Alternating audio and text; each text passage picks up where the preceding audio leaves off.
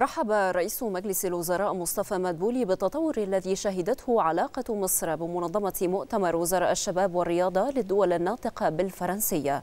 وخلال استقباله الأمين العام للمنظمة لويزي توبي توقع مدبولي أن يشهد التعاون تطورا أكبر خلال الفترة المقبلة بما يسهم في مزيد من التأثير الإيجابي على مستقبل الشباب في الدول الفرنكفونية بشكل عام ومصر بشكل خاص.